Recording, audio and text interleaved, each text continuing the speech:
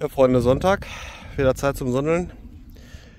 Wir sind mal wieder auf dem UFO-Acker oder mittlerweile ja auch schon Münzacker genannt.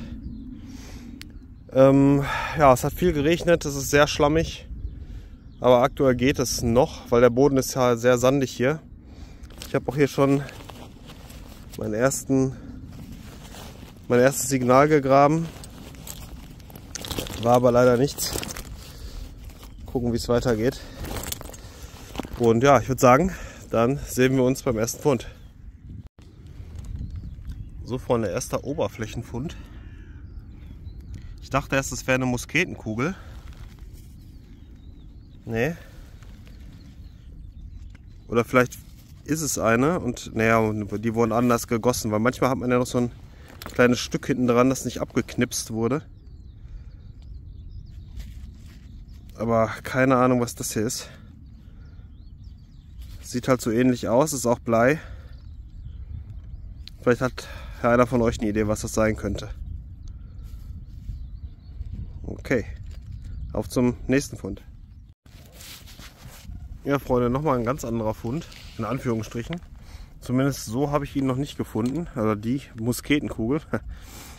Die hat nämlich hier eindeutig was getroffen. Die ist richtig platt auf der einen Seite.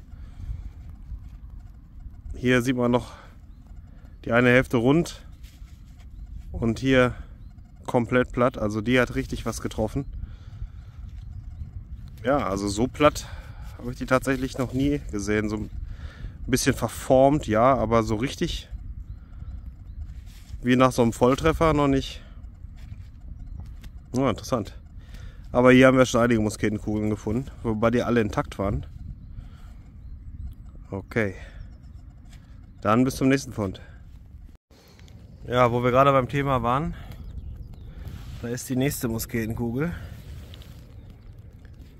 Wie wir es gewohnt sind hier eigentlich, perfekt erhalten, perfekt rund. Nichts dran.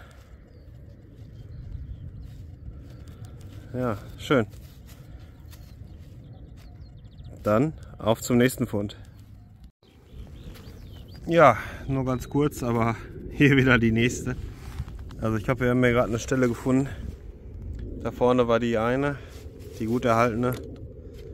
Hier ist die nächste, kleineres Kaliber, aber auch wieder rund, nicht angedodged oder irgendwie verformt.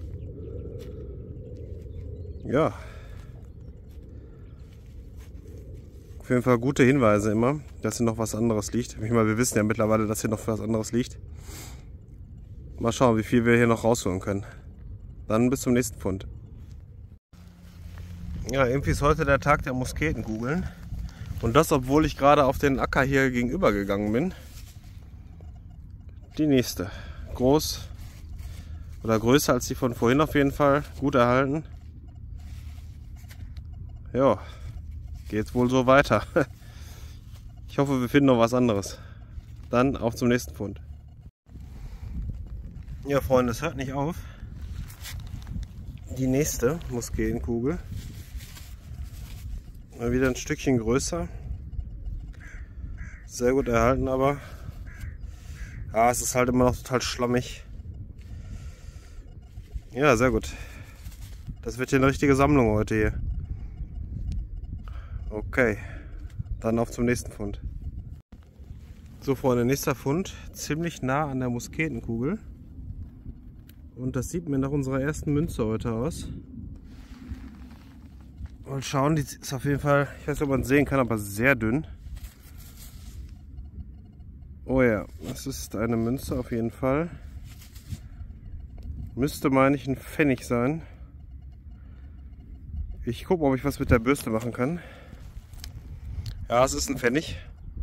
Man kann es so ganz leicht noch lesen. Müsste so 1800 sein. Sehr schön, erste Münze. Sehr dünn. Ja, die mit dem Wappen hin. Ich weiß nicht mehr genau, welche das waren. Ich muss es nochmal nachschauen.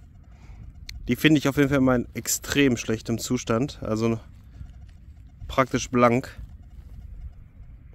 Ja, sehr schön. Okay, auf zum nächsten Fund. Ja, Freunde, das geht gut weiter. Praktisch drei Meter weiter sieht das doch schwer nach der nächsten Münze aus. Ja, das ist glaube ich eine belgische. Da ist dieser Löwe hinten drauf. Und darunter steht auch immer die Zahl, die Jahreszahl normalerweise, wenn ich mich jetzt nicht täusche. Ich gucke mal, ob ich mit der Bürste noch was machen kann. Da sieht man es richtig gut. 2 Cent. Und darunter steht die Jahreszahl, die, das muss ich aber anders reinigen. Aber gut erhalten, richtig gut erhalten. Normalerweise sind die mal richtig, auch richtig kaputt. Auch die Rückseite, die Verzierung kann man noch erkennen. Ja Leute, das ist doch echt gut hier. Du. Zwei Meter, zwei Münzen. So kann es auf jeden Fall mal weitergehen. Dann bis zum nächsten Fund. Ja Freunde, diesmal keine Münze. Dafür ein Knopf. Auch nicht weit von der zweiten Münze gerade entfernt. Ah, sogar noch mit Öse. Kann man aufgrund des ganzen Schlamms jetzt nicht sehen. Zeige ich euch aber in der Fundreinigung. Ja, super. Hier auf dem Abschnitt da geht ja doch einiges. Dann bis zum nächsten Fund. Ja, Freunde, nächster Fund kam ganz komisch rein, wie eigentlich wie Alu. Ich denke mal, das ist ein Stück vom, von einem Löffel. Extrem deformiert, aber müsste so sein. Die Form kommt hin, so einigermaßen auf jeden Fall. Hier ist abgebrochen. Ja, vielleicht finden wir noch den Rest. Mal schauen.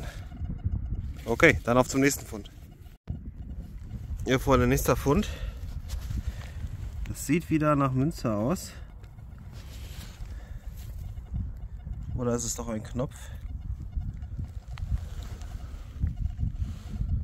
Nee, das ist eine Münze, sehr schön. Wieder so eine dünne. Mal gucken, ob ich ein bisschen was rausholen kann mit der Bürste. Ja, man kann auch so ganz leicht was erkennen. Auch den Schriftzug drumherum. Könnte ein Stuber sein. Aufgrund des Materials und der Dicke und des Zustandes vor allen Dingen, weil die sind auch immer mega schlecht erhalten.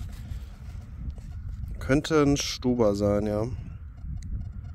Aber genaueres kann ich erst sagen, wenn ich es richtig gereinigt habe. Ja, vielleicht, ne, Pfennig ist glaube ich nicht. Ne, müsste ein Stuber sein. Aber okay, dann ist das so 1700 und. Ja, sehr schön. Drei Münzen jetzt, alles hier in der gleichen Ecke. So kann es auf jeden Fall mal weitergehen. Bis zum nächsten Fund. So Freunde, nächster Fund. Ich dachte erst, dass das nur so ein, ja, so ein normaler Ring ist, aber das sieht mir nach einem Fingerring aus. Ich gucke mal, dass ich mit der Bürste ein bisschen was machen kann. Ah nee, doch nicht. Es ist, eine, es ist kein Ring, es ist glaube ich ein Teil von einer Schnalle. Ich glaube, das sieht man hier ganz gut. Ich werde mal gucken, ob ich da was mit der Bürste machen kann. Ah, ich denke, es wird ein Teil von einer Schnalle sein. Ich dachte, es wäre ein Ring. Aber hier war dann das andere Teil von der Schnalle befestigt, gehe ich jetzt mal von aus. Ja, vielleicht weiß es jemand von euch. Meine, es ist ja nicht umsonst der eigentliche UFO-Acker. okay, bis zum nächsten Fund. So, Freunde, nächster Fund. Sieht wieder schwer nach, nach Münze aus. War auch ziemlich nah an der Oberfläche. Das sieht mir nach einem Zinker aus. 10 Pfennig. Könnte sogar noch was drauf zu erkennen sein. Oh ja, ich guck mal, dass ich mit der Bürste ein bisschen was machen kann. Ja, wunderbar. Kann man noch richtig gut erkennen. 1918 kann ich hier, glaube ich, sehen. Oder nee. Also ich weiß, die Zinker, das ist natürlich Dritte Reich, aber ähm, ich habe letztens auch schon mal eingefunden in dem Zustand. Ah doch, das ist 1918. Ja, eindeutig. Ja, in dem Zustand wirklich selten gefunden. Schönes Ding. Okay. Klasse. Dann auf zum nächsten Fund. Ja, Freunde, weiter geht's. Da haben wir mal wieder eine. Wieder eine Musketenkugel. Ja, also es liegen wirklich ungewöhnlich viele hier. Also so viele habe ich selten auf einem Fleck gefunden. Aber die sind auch alle so gut erhalten. Naja, okay. Dann auf zum nächsten Fund. Hier vorne nächster Fund. Dachte es wäre eine Münze. Könnte aber auch ein Knopf sein. Und hier vorne. Ich dachte da steht ein 10 Pfennig drauf. Es steht aber eine 16. Ja, keine Ahnung. Ob das ein Uniformknopf war, aber so richtig nach dem Knopf sieht das halt auch nicht aus. Aber es ist eindeutig eine 16 drauf zu erkennen. Ich werde das mal reinigen, mal gucken. Vielleicht ist doch ein Teil von einer Uniform oder ein Knopf oder irgendwie sowas. Oh, interessant. Auch noch nicht gefunden. Aber ja, der UFO-Acker liefert doch mal wieder. Okay, dann auf zum nächsten Fund. Da vorne nächster Fund. Das läuft ja heute wieder hier. Nach längerer Pause. Sieht mir nach einer Münze aus. Oh ja, das ist... Ist das eine Silbermünze? Sieht fast so aus. Ich gehe mal vorsichtig mit der Bürste dran. Ja, Freunde, unfassbar. Es ist tatsächlich ein Silberstuber. Hier kann man es sehen, 1754. Wahnsinn. Richtig toll erhalten. Auch die Rückseite. Perfekt. Ja, irre. Silberstuber. Die sind wirklich richtig toll und auch richtig selten. Also ich habe da vielleicht zwei oder drei Stück von. Aber der ist auch richtig toll erhalten. Freue ich mich drüber. Super. Toller Fund. Klasse. Dann auf zum nächsten Fund. Ja, Freunde, nächster Fund. Ja, ich will es gar nicht wieder lange, lange machen, aber wieder Musketenkugel. Wahnsinn. Ja, hier ist echt was los gewesen. Direkt neben der Silbermünze. Hier ist die Silbermünze. Hier die Musketenkugel. Klasse. Auf zum nächsten Fund. So, Freunde, nächster Fund. Sieht wieder schwer nach Münze aus. Ja, dürfte wieder ein Zinker sein. 10 Pfennig. Mal gucken, ob ich da noch was rausholen kann. Ah, der ist auf jeden Fall platt. Oh, aber es sind auf jeden Fall wieder 10 Pfennig. Ja, super. Also das ist ja mal heute wieder ein krasser Tag auf dem UFO-Acker. Da liegt ja wirklich noch, noch einiges. Super, auf zum nächsten Fund. Ja, Freunde, nächster Fund. Ich dachte gerade im ersten Augenblick, es ist ein Römer, aber da stimmt die, stimmt die Farbe nicht, das Material nicht, nur die Größe teilweise. Aber es ist eine Bleiblombe. Ja, ich glaube, ah doch, die wird wohl was älter sein. Aber kann man auch nicht viel noch sehen. Zu verschlammt alles hier. Okay, dann auf zum nächsten Fund. Ja Leute, es hört nicht auf. Da haben wir die nächste Musketenkugel. Also ich bin immer mehr der Meinung, dass hier mal, war jetzt wahrscheinlich keine riesige Schlacht, aber das ist einfach, das sind einfach zu viele Kugeln für, für einen Jäger. Also, und auch die verschiedenen Kaliber und so. Ich denke mal, dass hier doch mal irgendwie ein Scharmützel oder was auch immer war. Was kleineres auf jeden Fall, aber das sind einfach zu viele Musketenkugeln auf kleiner Fläche hier. Okay, auf zum nächsten Fund. Ja Freunde, da liegt schon die nächste Blombe. Jetzt kommen wir von den Musketenkugeln zu den Blomben wahrscheinlich. Aber ich muss auch sagen, hier liegt auch alles voll. Auch von diesen Splittern hier von diesen Bruchstücken. Also hier ist einiges, was hier auch oberflächlich liegt. Okay, dann mal weiter. Ja, Freunde, nächster Fund. Das sieht mir nach einer kleinen Münze aus. Ja. Oder ist das ein Knopf? Ne, ist eine Münze. Ich gucke mal, ob ich mit der Bürste was machen kann. Hat leider nicht viel gebracht. Die ist doch sehr verkrustet. Für einen Pfennig ist es ein bisschen zu klein. Ich dachte erst, es wäre Kaiserreich, aber dafür ist sie zu klein.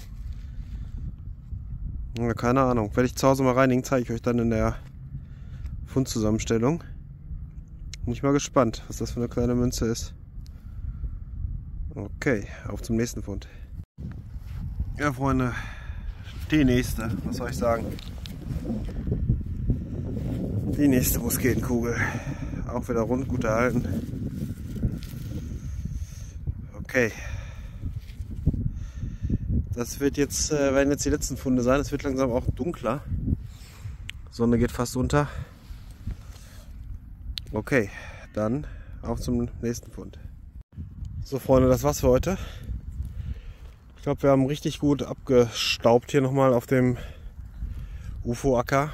Und ja, ich bin wie gesagt der Überzeugung, dass hier mal was gewesen sein muss, weil die Menge an Musketenkugeln, das ist schon ungewöhnlich. Also zumindest habe ich persönlich noch nie so viele auf einem kurzen Stück gefunden. Ich, wir waren ja nicht mal da hinten, wir waren ja wirklich nur hier vorne die ganze Zeit unterwegs. Und äh, ja, dementsprechend ist das schon echt viel gewesen. Viele Münzen auch, habe mich sehr gefreut, wieder ein paar UFOs dabei, so muss es sein hier. Und wenn euch das Video gefallen hat, lasst ein Like da, abonniert den Kanal und wir sehen uns nächsten Sonntag.